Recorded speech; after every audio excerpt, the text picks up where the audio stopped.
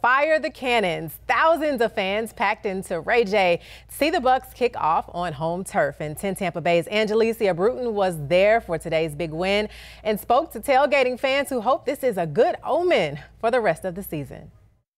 Fans are partying in the stands and outside the stadium as well. I asked multiple Bucs fans what they're looking forward to this season, and they all say winning. And the Bucs did just that.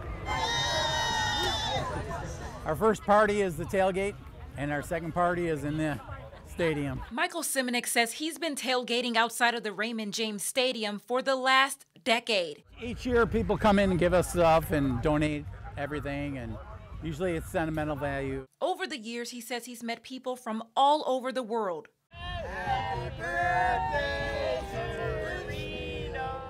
And some have become friends. Oh, these guys are tailgates that we've met throughout the years, and they've stuck with us. Fans like Christian Larson says there's no other crew they would want to be a part of. I'm born and raised here, you know. I grew up watching the Bucs with my dad for since I was can remember, you know. It's, it's in our blood. Larson is a season ticket holder, and to start off the season, he brought his cousin Joe Coaxum to his first Bucs game. I left for the military right out of high school, and I just recently moved back. This season opener isn't just special to Coaxum, but Parker Schmidt as well. I wanted to go Bucs color, so I got the hat and the shirt and then the black shorts to kind of go with it. Schmidt says she usually watches the game at home, but this year they're starting the season off differently.